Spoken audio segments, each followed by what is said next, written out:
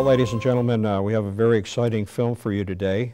Uh, one of the most exciting stories in the Bible, I might add. Uh, and we're actually on location in Israel, where the Ark of the Covenant sat for 20 years on a hilltop. And we are at Kiriath Jearim uh, in Israel, and that's in 1 Samuel chapter 7, verse uh, 1 and 2. You'll read about that place. But I'd like to read uh, some scriptures from 2 Samuel chapter 6. I'm reading through verse 4 through verse uh, 12.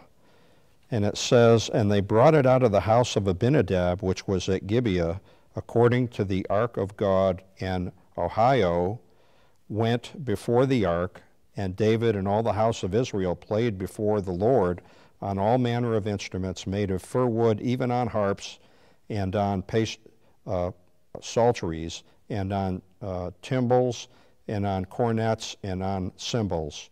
And when they came to Nacon's threshing floor, Uzzah put forth his hand to the ark of God and took hold of it, for the oxen shook it. And the anger, anger of the Lord was kindled against Uzzah, and God smote him there for his error, and there he died by the ark of God. And David was displeased because the Lord hath made a breach upon Uzzah, and called the name of the place uh, Perez Uzzah to this day. And David was afraid that the Lord that day had said, How shall the ark of the Lord come to me? So David would not remove the ark of the Lord unto him, unto the city of David, but David carried it aside unto the house of Obed Edom uh, the Gittite.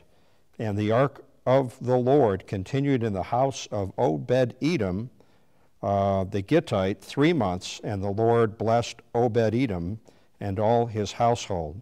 And it was told King David, saying, The Lord hath blessed the house of Obed Edom and all that pertaineth unto him, because the ark of God. So David went and brought up the ark of God from the house of Obed Edom unto the city of David with gladness.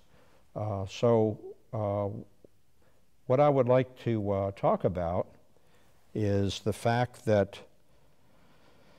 uh, we had an opportunity to go to this area where the Ark of the Covenant had stood on the mountain for approximately 20 years. And uh, we stayed at a bread and breakfast right there on that hilltop. Uh, uh, I should say about halfway down the mountain. And we were there for approximately uh, eight days as we were filming uh, seven or eight films in Israel during that time frame. And uh, I would like to say that uh, we had an opportunity to stay with a, a, wonderful family, the Singerman family, and they have a bed and breakfast about halfway down that hilltop uh, where the Ark of the Covenant had sat. And while we were there, um, we had an opportunity to um, really be blessed by this Messianic family. Uh, Chaim, that's C H A I M, Singerman, and his wife Ruti, R U T I. And we have some still photos that we would like to show you today um, of the Singerman family. And we'll take a time and uh, talk about that in just a moment. And to continue, uh, here we are at the Singerman's Bed and Breakfast, uh, the Jerusalem Hills Inn. Uh, the name of this area today is called Abu Ghosh. It's about eight miles to the northwest uh, of Jerusalem. In fact, this area where this bed and breakfast is at, it's about a 45 degree angle up the mountain. It's about probably halfway up the mountain here. And uh, this place where the Ark of the Covenant was coming down with David uh, remember, they put it on an ox cart, and they shouldn't have done that. That was not the proper way to do it. And as a result, uh, this man Uzzah, who went to touch it uh, from falling off, uh, the Lord had taken his life. And uh, that seems very harsh, perhaps, but we have to be careful how we approach a, a holy God, especially on his terms. And uh, I believe there were some very important lessons learned. So nearby, there was the house of Obed Edom, and for a brief period of time, the Ark of the Covenant had stayed there until they did it the proper way, and they had the Levitical priesthood come there to uh, take the ark into Jerusalem with David. And in our next picture, uh, this is a good shot of uh, Jerusalem Hills Inn, this bed and breakfast. And uh, on this particular picture, I'm standing, I'm actually on the mountaintop uh, where the Ark of the Covenant sat. This really is the mountain that the Ark of the Covenant sat at at Kir- Kirjath Jearim, as it says in the Bible. And uh, in this particular shot, we're looking down on Abu Ghosh, and uh, up at the top of the screen, you'll see uh, that's actually out in the distance is the city of Jerusalem. And in this picture is my cameraman, Ron Ench. Uh, Ron was kind enough to be my cameraman in Israel. And he spent about one year uh, preparing uh, to be a cameraman there, and uh, we couldn't have really done this without him. And we have uh, the Singerman family to the right, that's Chaim and his wife Ruti uh, in this shot. And it's a picture of myself and the Singermans as we had an opportunity to go out to dinner uh, during the time that we were there. And last but not least, uh, we have a photo here of the Jerusalem Hills Inn. Uh, if you're going with a small group of people and you'd like to stay at a wonderful bed and breakfast run by a Messianic family, uh, this is their business card. And I might say also that they're associated with the Prince of Peace Church in Arlington, Texas, uh, which this is actually being recorded in this church uh, that they are associated with. What's the chances of that happening? Well, I guess the Lord works in mysterious ways. So there you have it, and uh, I hope you enjoy the film, The Ark of the Covenant. Well, ladies and gentlemen, we have a very, very interesting uh, story for you today, one of the most interesting stories in the Bible. Uh, before we start our story, I would like to tell you where we're located today. Um, if you go in your Bible to 1 Samuel chapter 7, verse 1 and 2, you will find this place I'm literally standing on was the house of Abinadab in Kirjam Jerim, or Jerim as they say, Kirjium uh, Jerim, and again you'll find that in 1 Samuel chapter 7, verse 1 and 2. The house of Abinadab was located here. A little bit about the Ark. We'll be talking about the Ark of the Covenant today. Uh, I would like to tell you uh, where I'm standing right now. Literally, literally is on this hilltop right here, probably less than 100, 200 feet from where the Ark of the Covenant had stood for 20 years before it went down into the city of David. Uh, I would like to say that uh, the town uh, just to my right, uh, down below, uh, is the town of, today it is called Abu Ghosh. And in the Bible, uh, I gave you the Bible name uh, just a moment ago in 1 Samuel 7 and 1 and 2. I would like to give a little bit of background about this place. Uh, we'll be talking a little bit about uh, the, not only the biblical history, but I wanted to say something uh, about the town down below us, Abu Ghosh. Uh, this town is located approximately eight miles to the northwest of Jer the new city of Jerusalem today. Uh, it has a very unique history, even in modern history. And when Israel became a nation in the year 1948, uh, May 1948, uh, the day after they had become a nation, there were five Arab nations that went to war against Israel. Uh, this war went on for the better part of about a year. This was not a very pretty war. Israel had very, very few resources. And yesterday, my cameraman and I were uh, told that uh, this, this town, Abu Ghosh, down below, was the only Arab town in all of Israel that supported and took care of the Jewish people here in Israel during the 1948 war. And uh, people uh, put their lives at risk helping the Jews here. Uh, the town is known for that. it's the only town in Israel that you could say that. So my prayer is that the Lord would give a very special blessing to this place called Abu Ghosh. Would like to say one other thing. Uh, my cameraman and I are standing or staying at a hotel probably less than 100 yards down the hill from the mountaintop here. It's called the Jerusalem Hills Inn. There's a very righteous family that runs that bed and breakfast, uh, uh, Messianic family. And I'd like to uh, invite you to make reservations here when you come to Israel to this particular bed and breakfast. And you can find them on the JerusalemHillsInn.com. Well, let's go ahead and start with our story. Uh, the Ark of the Covenant, we first see that in the Bible in Exodus chapter 25, verse 10 through 22. It is also found in Exodus chapter 37, verse 1 through 9. It gives the dimensions and the description of the ark. Uh, it is actually patterned after heavenly things. Well, where does it say that? It says that in Hebrews in the New Testament, Hebrews chapter 8, verse 5.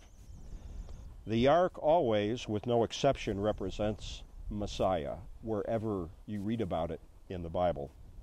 So I want to go back to Mount Sinai in, in the story in Exodus uh, when God gives the command to Moses on Mount Sinai to create an Ark of the Covenant. I want to show you some parallels between Moshe, who we call Moses in Hebrew, and Jesus Christ. There are some patterns that I'd like you to sort of keep your eye on. Uh, you might remember um, Moses goes up to Mount Sinai 40 days, 40 nights the first time. Uh, God tells them that Israel is in sin. Moses goes back down the hill with the commandments, the Ten Commandments. As, as you know, he breaks them and he finds them in sin. And uh, it's sort of like he's thinking, it's over, we're toast. Uh, but God has another plan. So a certain amount of time goes by, and Moses feels it's time to go back up to the mountain again. And I'm going to share some Hebrew dates with you. Uh, this is highly unusual for Christians to hear this, but uh, the Jews would know what I'm talking about as far as the dates. On the calendar, on the Hebrew religious calendar, it's the first of Elul that Moses goes up to the mountain the second time. He's there for 40 days and 40 nights. He brings his own tablet with him this time, but God does write the Ten Commandments on the tablet that tablets that Moses provides.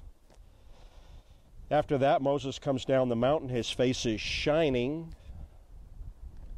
and he's very happy. And the reason he's happy when he comes back down from the mountain is he knows that God has forgiven Israel of their sins. He probably feels that would probably never happen in a million years, but it did. In God's graciousness and love, he had, did that. Now, I told you earlier the second time Moses goes up to the mountain is the first of Elul. I would like to share with you the day he comes down the second time. That's the holiest day of the year in the Hebrew calendar. It is the 10th of Tishri. It is Yom Kippur. It is the Feast of Atonement. Now, it doesn't say all this in the text, but I, I did want you to know this. You know, in Judaism, the holiest day of the year, even today, has been for 3,500 years, uh, is Yom Kippur.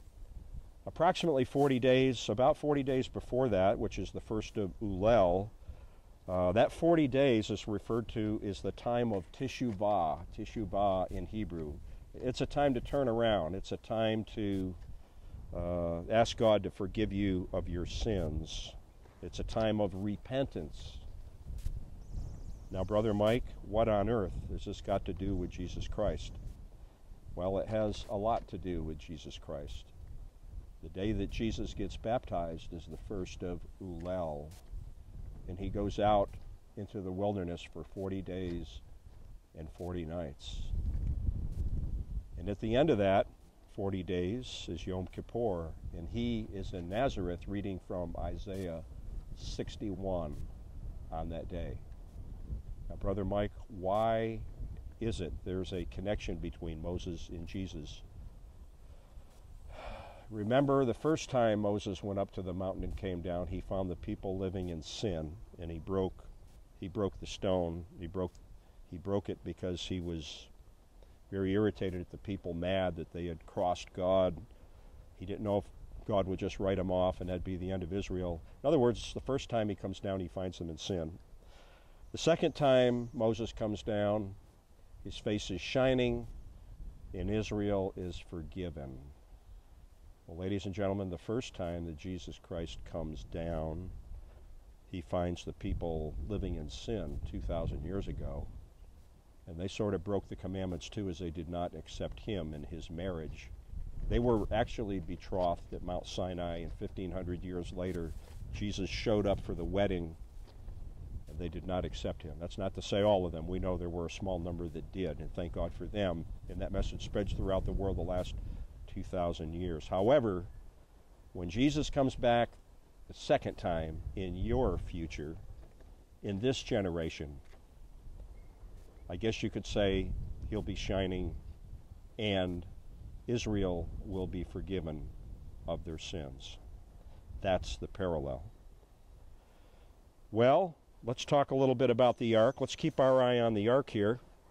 After 40 years of wandering around the wilderness, the Israelites camped on the western side of the Jordan River.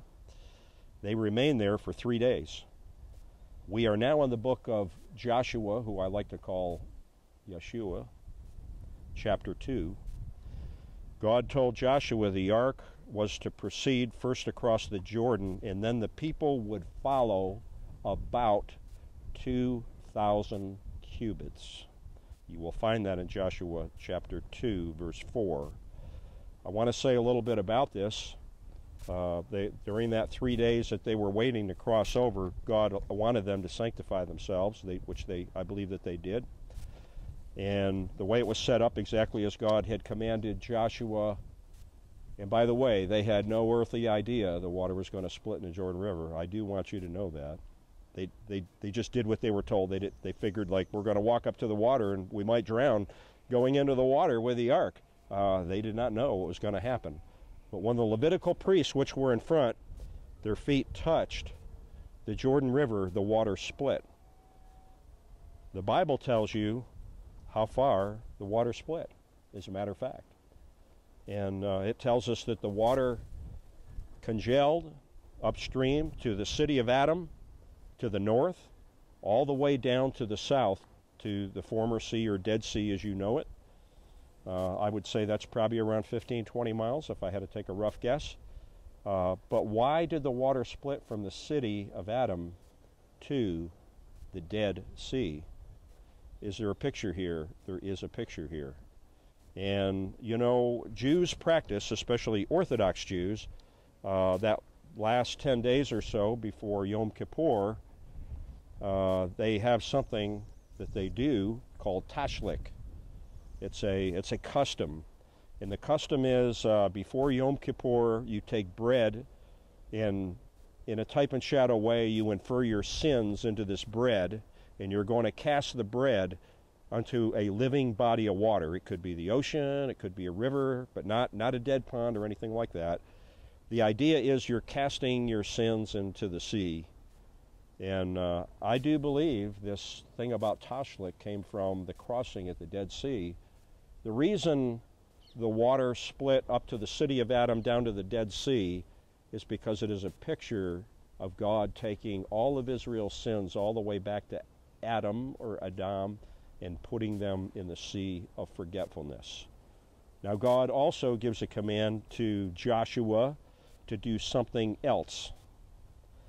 And he tells them, I want you, this is before they even know the river's going to split, I want you to take stones in the riverbed and I want you to put them over on the Israel, on the western side of the Jordan River, on the Israel side, to be a memorial forever. Now, I do want you to know Joshua did exactly as God had told him. However, he did something else that God did not tell him to do. Uh, he didn't do anything wrong, he just did something into addition, and that was he took stones from the Jordanian side on the east side before they went over, and he put 12 stones in the middle of, of what ended up being the dry riverbed. Now, you might ask the question, and you do need to ask the question if you're a good Bible student why on earth would Joshua put 12 stones in the middle of the dry riverbed when, in fact, the river's going to rush over it and, and it won't be seen by anybody when, when the waters come back? And uh, was there a purpose behind that? I believe that there was. And I'm going to share with you what the reason was. 1,500 years later, approximately, the Lord Jesus Christ was being baptized in the Jordan River. And the Bible tells you in the book of John the place. There's a clue in the story, and it says that John the Baptist baptized Jesus at Bethabara. Now, why on earth is that little Bethabara inserted in that story? There is a reason, and the reason is it is the place where they crossed over into the promised land 1500 years before. So let me get this right, Brother Mike. Jesus was baptized on the spot where the 12 rocks were. He was. And what's it a picture of? That, like the water splitting to the city of Adam to the Dead Sea, he can take your sins all the way back in the beginning of your life and put them in the sea of forgetfulness. I want to go back to the crossing now at the Jordan River. I want you to keep your eye on the ball about the Ark of the Covenant, which always represents Messiah. Uh, you know, the ark was to go over first and the people would follow. That's when the water, immediately when they got to the water and the water split. However, if you read the text very carefully, chapter, uh, especially 2, 3, and 4 in Joshua, you will find out that the ark actually stopped in the middle of the dry riverbed. Like a road guard, it stayed there until all the people could be maybe a million and a half, two million people. And remember, all the people that started off in Egypt, they all died uh, within 20 years after they left. And all these, now it's 20 years later after that, total of 40 years. All the people coming in the promised land are 20 years and younger, except for two people, Joshua and Caleb, the priest. Okay, so uh, I did want you to know that. Uh, why is it 2,000 cubits the people will follow. The reason is, I believe Messiah will lead us in the promised land or into the promised kingdom approximately 2,000 years after Jesus Christ, after his death. We're not quite there. We're more than 2,000 years since he was born, less than 2,000 years since uh, his death. And I'm not trying to say that it's going to happen exactly. It won't. That's why the King James Bible says about 2,000 cubits. Uh, but I, I did want you to know. Uh, now, I'm going to share some real golden nuggets. So, uh, Bible scholars, uh, get your pen and paper ready. Some of the things I'm going to share with you today you've never heard, and there's going to be a number of things you've never heard before and may not hear again. Mysteriously, God gave us the date on the Hebrew calendar that the crossing took place. Anytime God gives a date on a calendar, you need to pay very close attention. Mysteriously, God gave us the date on the Hebrew calendar the crossing took place into the Promised Land. You'll find that in Joshua chapter 4, verse 19. I don't know if you ever caught this, but it says it happened on the 10th day of the first month. That date should actually jump out at you uh, it's the day you select the lamb for it will be killed four days later on Passover on the 14th of Nisan. We're going back, of course, to uh, Exodus chapter 12 about the Jews are to do Passover each year. The 10th day of the first month was also another date that should be well fixed in your mind. It's the day that Jesus did the Palm Sunday ride on the donkey from the Mount of Olives to the temple.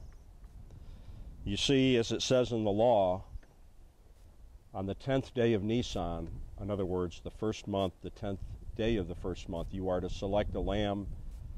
And all the way back 3,500 years ago to Egypt, you're supposed to take that lamb home with you, basically make a pet out of it, get to know it, get to love it, because on the fourth day, on the 14th of Nisan, that lamb will be killed in the evening. And that means when the sun goes down, which is the beginning of the 14th day. That's the meaning behind that. Jesus died on the 14th of Nisan, Passover. Jesus had to die on Passover because technically he was Passover. So, uh, the Jordan crossing and Palm Sunday, the Palm Sunday journey across the Kidron Valley are in fact the same Hebrew day.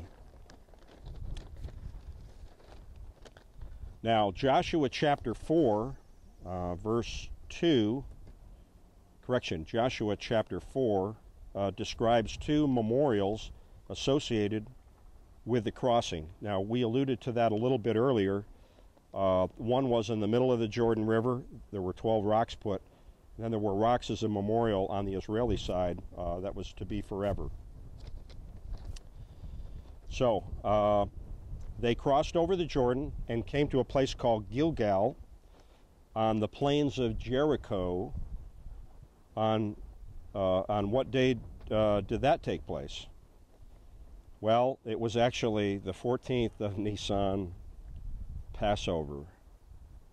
Okay?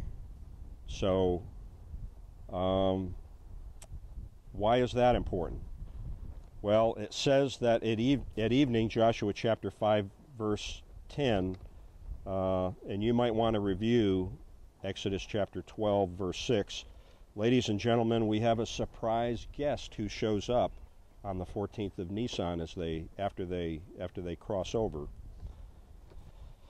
Uh, let's read about Joshua chapter 5 verse 13 through 15 and see if we can figure out who this mystery man is. We'll be back in just a moment. All right, I'll be reading from the book of Joshua chapter 5 verse 13 through 15. Remember they've they've crossed over uh, into the promised land on the 10th of Nisan, um, the same day that Israel was supposed to select the lamb, if you will, the lamb to be inspected without spot or blemish and all that. Uh, we are now on the 14th of, of that month. And it says in verse 13, It came to pass when Joshua was by Jericho that he lifted up his eyes and looked, and behold, there stood a man over against him with his sword drawn in his hand. And Joshua went unto him and said unto him, Art thou for us or for our adversaries? And he said, Nay, but as the captain of the host of the Lord I am, now come. And Joshua fell on his face to the earth and did worship and said unto him, What saith my Lord under his servant? And he says, And the captain of the Lord's host said unto Joshua, Loose thy shoe for from off thy foot, for the place whereon thou standest is holy. And Joshua did so. I'm reading from the King James text because you're going to find out some of the other versions, they don't say the same thing.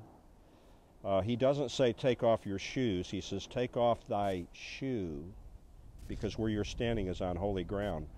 Who is this mystery man that shows up on the 14th of Nisan Passover. It's none other than the Lord Jesus Christ Messiah himself with the sword in his hand. Why does he say, Take off thy shoe and not shoes? Remember that story in Ruth where Boaz, uh, the man that has first line uh, to get the deal done, passes his shoe to Boaz? Uh, that came from this and which that would take place many years later in the story of Ruth. But the the idea is God is saying, take off thy shoe because the other shoe you have the right, if you will, to walk on the land, but you're standing on holy ground. Sometimes in the Bible it uses the term the angel of the Lord. In most cases, it is none other than Jesus Christ pre incarnate. And that is the case in this story, and I did want you to know about that. Okay, uh, that's a great story.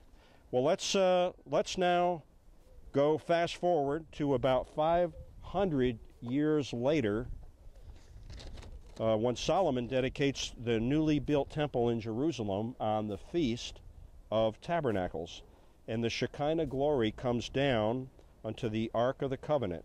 You'll find that in Second Chronicles chapter 5 verse 3 and also verse 14. Daniel chapter 9, verse 24 tells us God has determined 70 weeks or 490 years upon thy people. Dr. Perry Stone and myself are of the opinion that Solomon's temple exact, lasted exactly 490 years. I know there's many that would refute that. Many scholars would probably argue that date, but the bottom line is that they're not exactly sure. I also have another opinion that will shake up a few people. We have all heard Jesus' ministry was three and a half years, but nowhere does it say that exactly. There are two or three Passovers where Jesus does a little house cleaning, if you will, at the temple, such as when he drives out the money changers and so forth. This is recorded in Matthew chapter 21, verse 12 through 16, John chapter 2, verse 13, and Mark chapter 11, verse 15 through 17. Some scholars interpret that these are three Passovers, three different Passovers, at three different times over three years. But it but in reality, it could be two Passovers in a period of 12 months apart. My personal opinion is that Jesus' ministry was 490 days or 70 weeks in duration, which is about 18 months. He was born on the Feast of Tabernacles and died on Passover. Of course, those dates on the calendar are six months from each other approximately apart. Month wise, that's the case. That equates for the half a year, if you will, uh, in the ministry. Jesus' ministry, if 70 weeks or a year and a half in duration, could account for all of his ministry and his miracles. I know it just doesn't fit with tradition. We've all heard Noah's Ark, the Noah's Ark story where Noah had preached 120 years before the ark was finished. But when you analyze Genesis chapter 6, verse 3, that 120 years has nothing to do with Noah's story. Beware of tradition, my friend. Like the Bereans, we need to check and cross check every jot and tittle. We are now going to fast forward to Acts chapter 8, verse 26 through 40. The apostle Philip meets up with an Ethiopian eunuch at the eunuch's chariot. The eunuch is reading, and by the way, it doesn't tell you what he's reading, but it does say the text that he's reading, so we do know what text he was reading. It was from the book of Isaiah, chapter 53. You know, the book of Isaiah, chapter 53, is the holy of holies of all the chapters in the entire Bible. So the eunuch is reading Isaiah chapter 53, verse 7 and 8, and he quotes 7 and 8. That's alluded to in Acts chapter 8, verse 32 and 33. Why did the Holy Spirit put this story in the Bible? Well, we're going to be right back in just a moment and tell you why.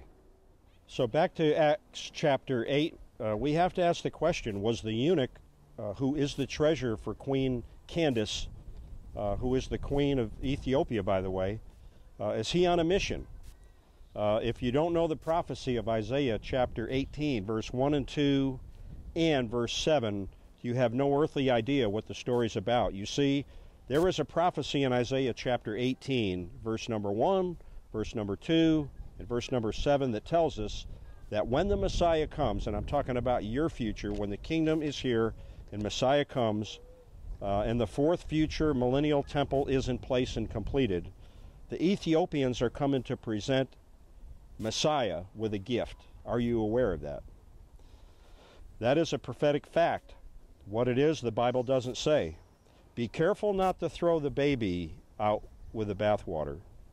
Dr. Chuck Missler is of the opinion it could be the mercy seat of gold, uh, which is a separate item attached to the Ark of the Covenant. Some people believe perhaps it could be the Ark of the Covenant itself in Ethiopia.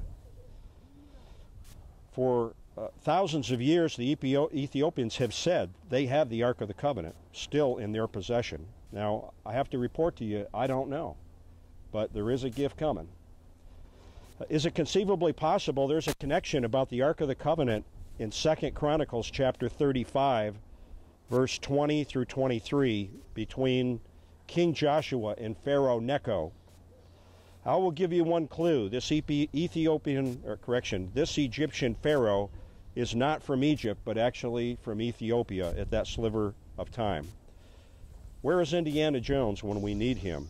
One thing you can count on when Jesus comes, you will know the gift that the Ethiopians have.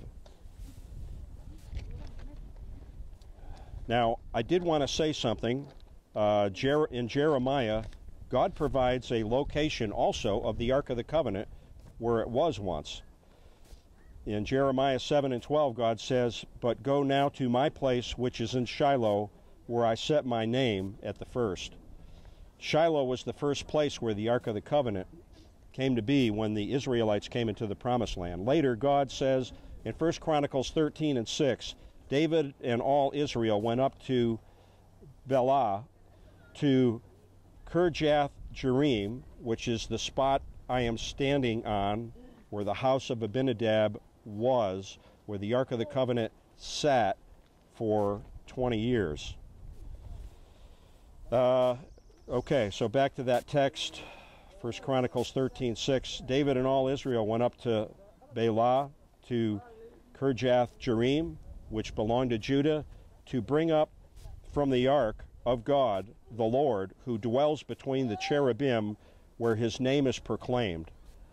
Again, I'm literally standing on that spot. So when the Ark of the Covenant came into Israel, uh, it first came to Shiloh. After that, uh, it went through a different series of areas in the Philist- where the Philistines were. And Israel, unfortunately, started to use the Ark of the Covenant like, like, a, like a rabbit's foot, a good luck charm, and they lost it. They lost the Ark of the Covenant. You know the story uh, how it was lost and later it was sent back to the Jews. Uh, I would like to say uh, that uh, eventually it ended up here on this on this mountaintop, and it sat here for 20 years until David took it, the Ark of the Covenant, down the mountainside. This is the mountainside uh, just to my left, to your right. It is down this mountainside that the Ark of the Covenant went down into the city of David, and where Uzzah touched it as it was falling off the cart, and uh, of course, God had taken his life because it wasn't handled in the proper way. That does not mean that he went to hell or anything like that. It just means that you got to be careful how you approach God. Well, we've we've shared some uh, very outstanding uh, ideas about the Ark of the Covenant. I hope that uh, I hope that you learned something new today. And uh, also, I'd like to say uh, is I'm coming to you again, uh, reporting to you from the house of Abinadab, which is now uh, Abu Ghosh, uh, Israel. I hope that uh, the Lord blesses you. And remember, the Ark of the Covenant always represents Jesus Messiah. And before I leave today, I'm just going to say one last thing. You remember the story in the New Testament on Resurrection Sunday. Mary Magdalene goes into the sepulchre, I believe it's uh, John chapter 12, verse 20, and she looks into the there in that area and she sees an angel standing on the left dressed in white and an angel standing on the right, uh, one on the left, one on the right, dressed in white. And of course, uh, between that would have been the mercy seat. It's a picture of the Ark of the Covenant.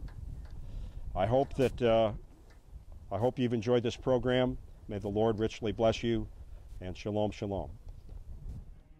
Have them make a chest of acacia wood, two and a half cubits long, a cubit and a half wide, and a cubit and a half high.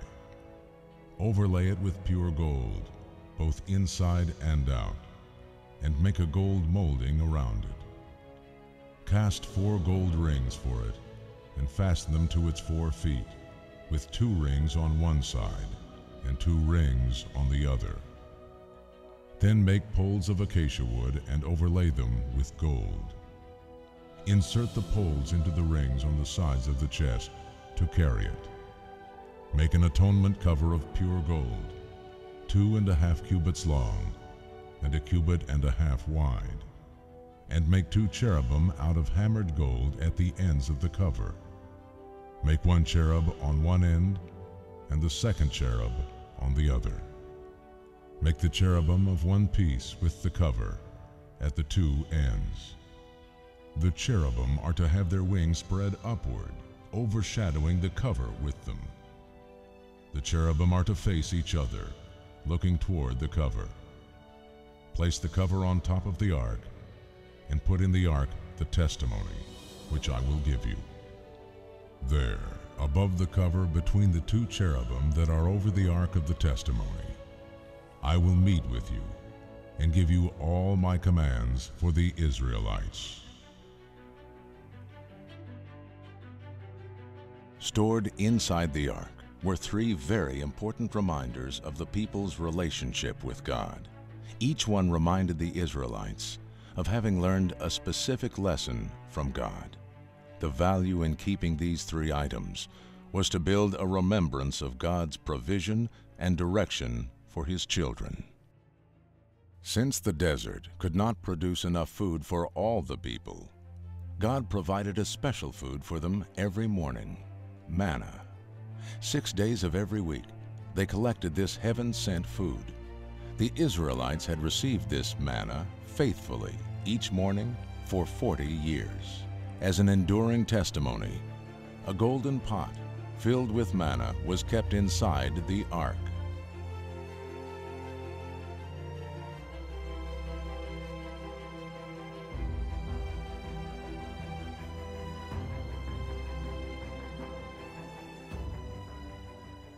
Inside the golden pot was an omer's worth of manna, or one day's portion.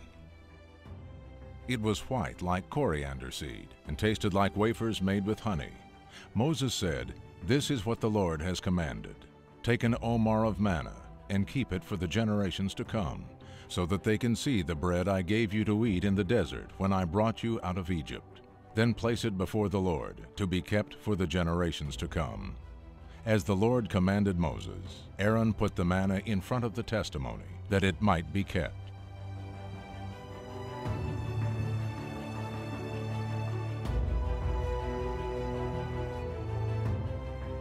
The difficulties of life in the desert became a heavy toll for many of the Israelites.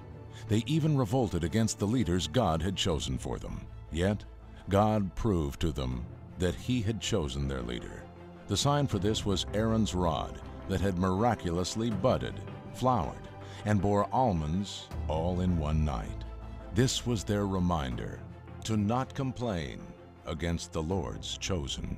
Speak to the Israelites and get twelve staffs from them, one from the leader of each of their ancestral tribes. Write the name of each man on his staff. On the staff of Levi, write Aaron's name, there must be one staff for the head of each ancestral tribe. Place them in the tent of meeting in front of the testimony, where I meet with you. The staff belonging to the man I choose will sprout and I will rid myself of this constant grumbling against you by the Israelites. The next day, Moses entered the tent of the testimony and saw that Aaron's staff, which represented the house of Levi, had not only sprouted, but had budded, blossomed, and produced almonds. The Lord said to Moses, Put back Aaron's staff in front of the testimony, to be kept as a sign to the rebellious this will put an end to their grumbling against me, so that they will not die. The best known of the reminders kept inside the ark were the two stone tablets engraved with the Ten Commandments. These tablets contained the primary rules they were to live by, which would protect and govern them. God would also use these to examine their faithfulness and commitment to following Him.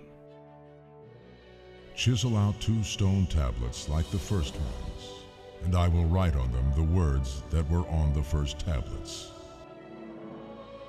So Moses chiseled out two stone tablets like the first ones, and went up to Mount Sinai early in the morning as the Lord had commanded him. And he carried the two stone tablets in his hands. I am the Lord your God, who brought you out of Egypt, out of the land of slavery. You shall have no other gods before me.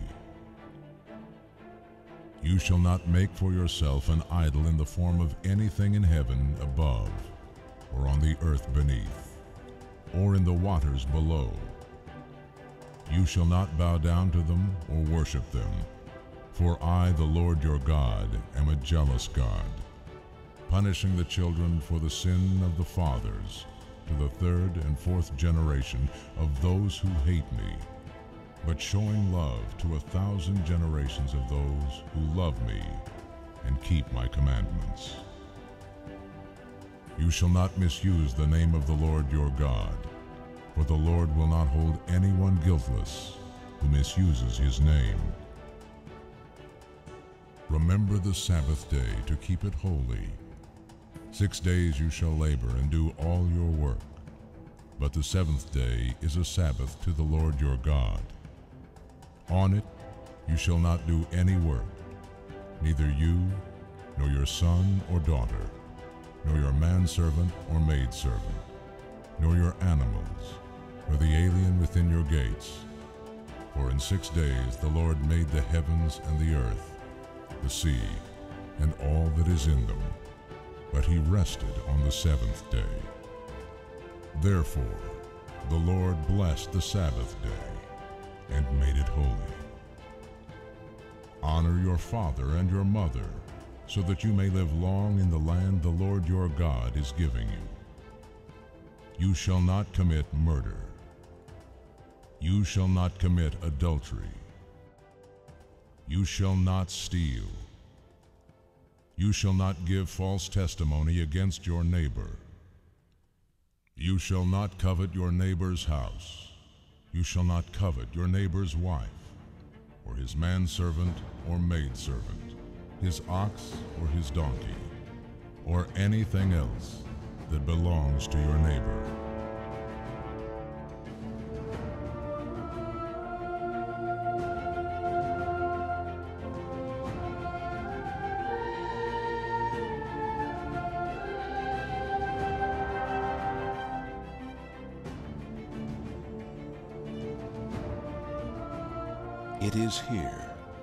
Just above the cover to the Ark of the Covenant, also known as the Mercy Seat, here, in this space, where the cherubim, the guardians of God, have set their full attention, that God's presence would appear to and meet with the high priest on a specified day, and then only once a year.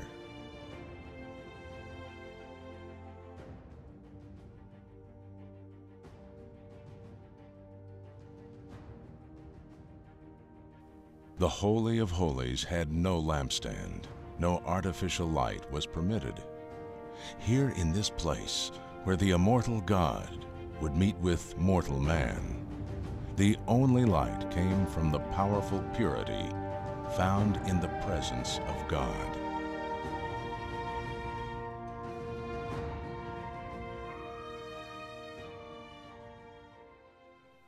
And ladies and gentlemen, uh, I want to personally uh, thank the AMG publishers for uh, their permission to use uh, that clip on the Ark of the Covenant film.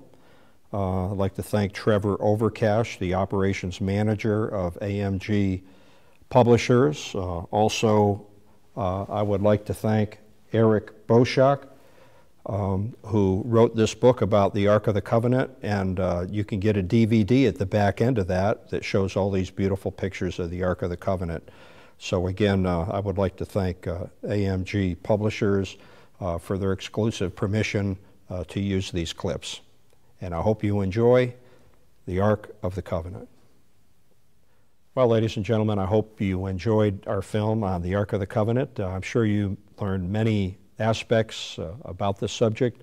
Uh, before we leave you today, though, we do want to say one more thing about the Ark of the Covenant that I think you'll be most uh, uh impressed with, and that is uh, in the New Testament, there's a story, a very strange story. It just kind of jumps out at you, and it's in Acts chapter 8.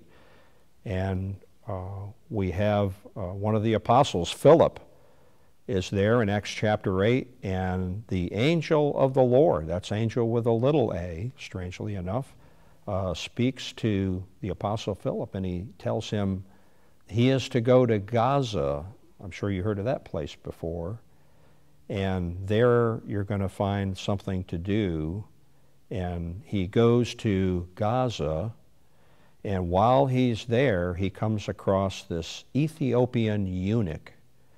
And the Bible tells us in Acts chapter 8, this is not just an average guy. Uh, he is from Ethiopia. He works for Queen Candace, who was one of the most powerful political people in the Middle East at that time, I would like you to know. Uh, he would be the equivalent of the Secretary of the Treasury of the United States government today. So this is sort of a big deal guy. And uh, he's there in his chariot, and he's reading a scroll of Isaiah. And all of a sudden, uh, Philip comes up and uh, he meets him and asks him what he's reading. And he says he's reading the scroll of Isaiah. And if you read the text very carefully, uh, he tells him what he's reading. He's actually reading Isaiah chapter 53, uh, which I'll refer to as the Holy of Holies chapter in your entire Bible, written 600 years before Christ was born. Uh, Isaiah 53, verse 7 and 8. That's what he's reading. And Philip asked him, Do you know what you're reading? And uh, I, am sure he's saying, I don't really fully understand this. And he lets him know it's talking about Jesus Christ, who has already died on the cross and been resurrected uh, not very long before this. So, Brother Mike, why on earth is this story uh, in the Bible? I told you it kind of just kind of jumps out in the middle of nowhere, sort of out of the woodwork. Uh, but I'd like to share a point about this story with you you probably never heard before, and that is there is a prophecy in the book of Isaiah, chapter 18, verse 7. And in chapter 18, it's talking about the Ethiopian people. And in verse 7, it's talking about a present that they will bring to the Lord on Mount Zion. So, ladies and gentlemen, uh, I do want you to know uh, the when the Lord returns and the fourth temple is there, the Ethiopians are coming with a gift, my friend. Now, is it the Ark of the Covenant? I don't really know. Uh, uh Dr. Chuck Missler seems to be of the opinion that perhaps it could be the lid, solid gold lid of the Ark of the Covenant that they have. Um, you know, the Ethiopians to this day, they claim they have the Ark of the Covenant there, uh, and I'm not trying to say that that's true. I, I don't know, but I but the reason I think this story is in the Bible, Acts chapter 8, with the Ethiopian eunuch, is I believe he's coming to Jerusalem to find out is this the one? Is this the one we're going to give the gift to? Uh, in fulfillment of Isaiah chapter 18, verse 7. And uh, he finds out that the Lord Jesus Christ has already died and been resurrected, but he's not there. And uh, immediately after this discussion, uh, Philip, which by the way, his name means the lover of horses, wanted you to know that. And while they're there at Gaza, he invites him to be baptized. And is Philip baptizes the Ethiopian eunuch. When they come up out of the water, all of a sudden, Philip is not there. And he is raptured to another location instantly. And the Ethiopian eunuch sees him disappear. And that's sort of where the story ends. And, uh, but what I want to share with you is the place. I don't know if you ever caught it. The Bible says uh, when they came up out of the water that it mentions that uh, Philip was, was taken away. Uh, this was an instantly uh, event, an instant event that happened, and he was found in the place called Azotus. Uh, well, what's the big deal, Brother Mike? I wanted to let you know where Azotus is. And uh, Azotus is actually Ashdod. Ashdod is the place about 1,100 years uh, before that Samson was there. And you might remember that uh, also the Ark of the Covenant was stolen at one point in time in history. The Ark of the Covenant was taken to uh, eventually to Ashdod, and uh, it was uh, in that area where the Ark of the Covenant sat uh, about a thousand years before Christ. And while it was there, they propped it up uh, in this shrine to Dagon, their false god. And the next morning, uh, the false god was found on his face.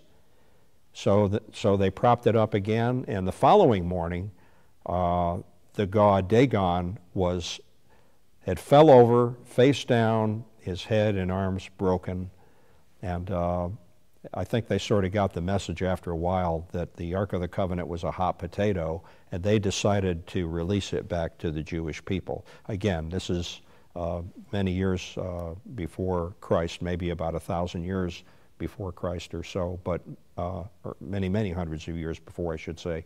But the story of Samson is about 1,100 years before Christ. Uh, but that does take place in Ashdod. And Ashdod is also the same place after uh, Samson was captured, and that's another story in itself. Uh, but when he's captured and he's going round and round in a mill, that you know they gouged out his eyes uh, after he was with uh, Delilah, and uh, there's a whole story there. And what happens is he's taken prisoner. They gouge his eyes out. They put him in a mill almost like an oxen, uh, probably a large stone going round and round in circles. And then later they're going to make fun of him and they bring him into this gigantic uh, shrine. The Bible says there's 3,000 people on the roof, by the way. And by the way, there were 3,000 Jews that turned in Samson earlier in the story. I'm in Judges chapter 13 through 16.